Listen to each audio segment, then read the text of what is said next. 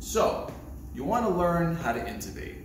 Well, if you don't have a rock solid grasp of the relevant anatomy for intubation, then one day when things go wrong, and trust me, as an anesthesiologist who's intubated countless number of patients, I can assure you that things will go wrong one day.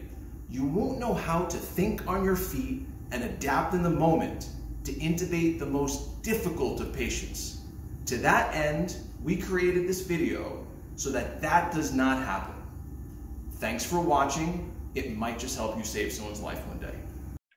Medical Specialists Associates, making medical education more accessible. So thank you for watching. I'm Christopher Voscopoulos of Medical Specialists Associates, and this particular topic is on airway anatomy for intubation, but it is not just anatomy. We'll also talk about the airway equipment that interacts with the anatomy.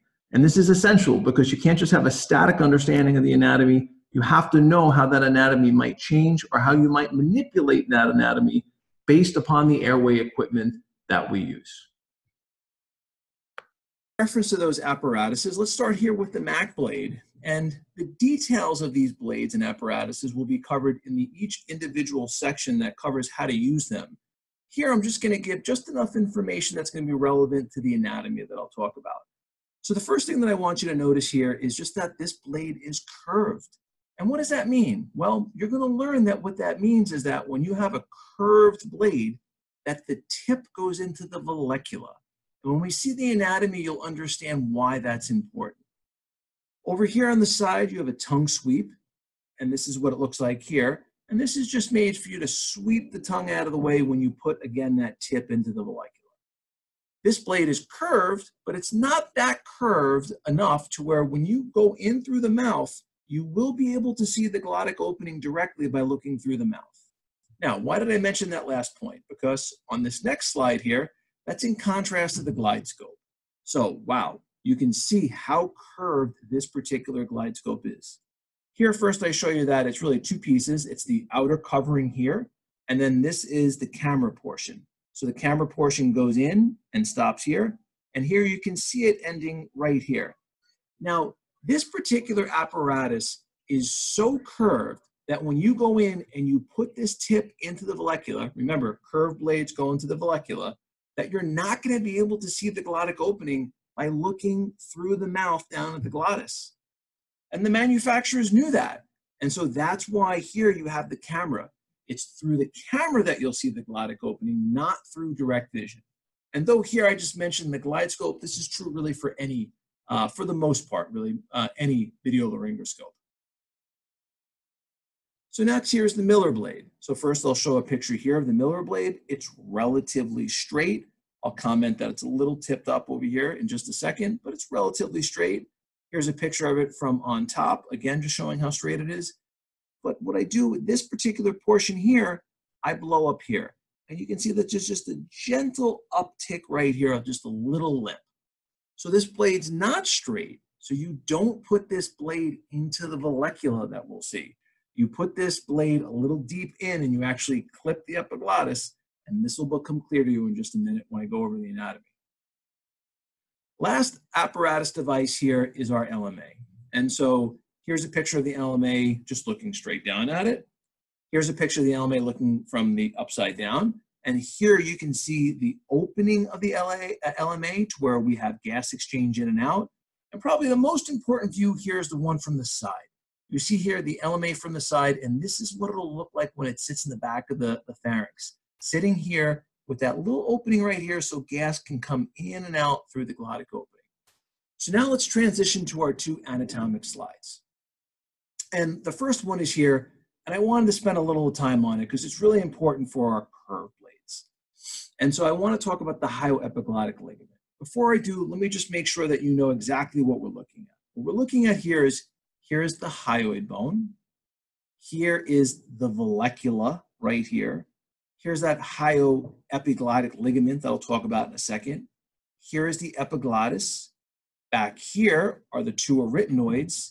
And right in the middle here is our vocal cords. Here are our true vocal cords down here, these two, and they're both closed right now. If they're open, you can see straight down through the trachea. here are our false vocal cords here on the side. So if these were open, this is the view that you should see. This is what we would call a grade one view during direct laryngoscopy if you went in. So why did I want to spend a second on this hyoepiglottic ligament? Well, because I mentioned two blades that were curved. The glide scope, or any video laryngoscope, and the Mac blade. And what you do is you put those tips I mentioned here into the vallecula. So why is that important? Because when you put the tip into the vallecula, you're going to depress down the hyoepiglottic ligament. Why is that important? Because when you push this structure down, what do you do? You lift the epiglottis up in this direction and you're able to see the cords. And so that's why I talk about the curved blades you put in the vallecula. One of the reasons why is to depress this so you lift up that epi, uh, the epiglottis so you can see.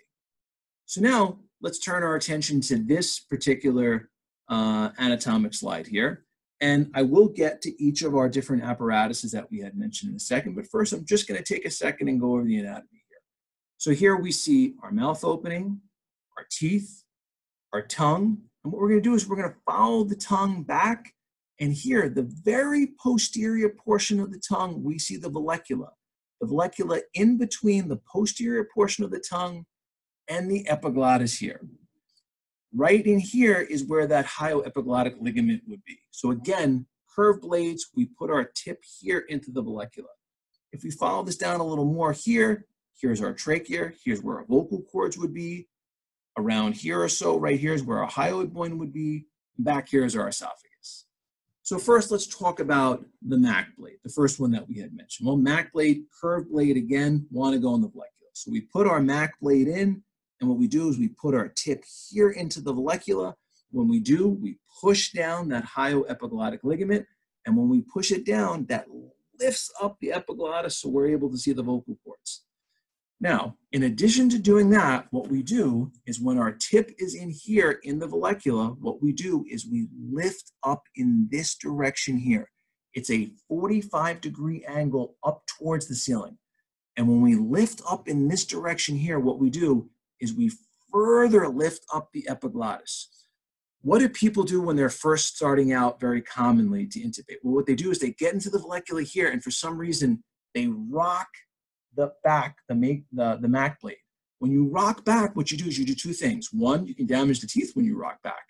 But also what you do here is you push the epiglottis down as you're rocking back and you're closing off your view.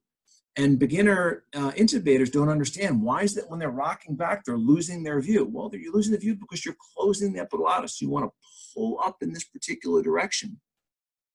So again, and the Mac blade is such to where it's curved, but it's not curved enough to where you will be able to have a direct line of sight down here to see the vocal cord uh, opening.